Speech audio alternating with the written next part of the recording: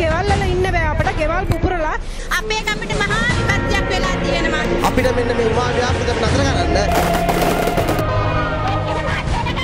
අපි දන්නවද කවුද කියලා මේ ගල්ලවා ජනතාවට ලබා ගන්න තිබෙන අලගේ මාර්ග අනස්ථාවක් මෙතෙක්කල් මේ එකෙක්වත් උමාවට ආවේ නැහැ උමා ඔය බහුකාර්ය ව්‍යාපෘතියෙන් ප්‍රතිලාභ හිමිවන ජනතාව සහ ඉන් පීඩාවට පත්වන ජනතාව එලෙස විරෝධතාවල නිරත වූ ආකාරයත් ව්‍යාපෘතියේ පාරිසරික බලපෑම් පිළිබඳවත් අද දෙරන පසුගිය දින කිහිපේ වාර්තා කළා.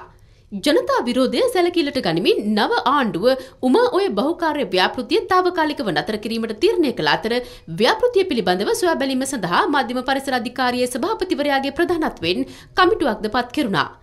එම කමිටු සාමාජිකින් අදාළ තත්ත්වය විමර්ශනය කිරීමෙන් පසු වැල්ලවාය උමා ඔය ව්‍යාපෘති කාර්යාලට රැස්ව ව්‍යාපෘතියේ පාරිසරික ගැටලු පිළිබඳව සාකච්ඡා කළා.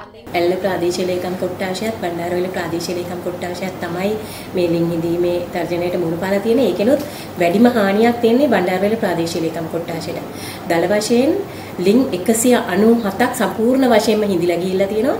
හැබැයි මේක දවස ගානේ මේකේ සංඛ්‍යාව වෙනස් වෙනවා. ඒ වගේම නිවාස ඉරිතලා යෑම් බණ්ඩාරවිල ප්‍රාදේශීය ලේකම් කොට්ටාශයේ 710ක් නිවාස ඉරිතල ගිහින් තියෙනවා සහ ඊටාම දරුණු භයානක තත්ත්වේ නමයක් තියෙනවා ඒවෙන් පුද්ගලයන් මේ වෙන විට ඉවත් කරලා තියෙනවා. එතකොට මේ උමාවි ව්‍යාපෘතිය යටතේද මේ ප්‍රශ්නේ කියලා හඳුනාගෙන තියෙනවද? ඊටාම පැහැදිලි ලින්වල වතුර සේරම හිඳිලා ගිහින් තියෙද්දි මෙතන ටනල් එක හරහා මේ උමං මාර්ගය හරහා විශාල ජල කඳක් මම හිතන්නේ තප්පරයකට ලීටර් 275කට වැඩි ජල කඳක් එළියට යනවා.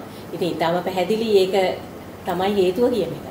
ඒ අනුව මෙම පාරිසරික ගැටලු මෙන්ම ව්‍යාපෘතියේ අනිකුත් ක්‍රියාකාරකම් පිළිබඳව වාර්තාව මෙවන විට සකස් කර තිබෙනවා. පීඩාවට පත්ව සිටින ජනතාවට සහන සැලසීම ඔවුන්ගේ ජීවනෝපාය වලට සිදුවලා තියෙන කටයුතු පිළිබඳව පරිසරයට සිදුවලා තියෙන බලපෑම් පිළිබඳව මේ පිළිබඳව අපි සොයාගත්ත කරුණු අපි වාර්තා කරන්න බලාපොරොත්තු වෙනවා.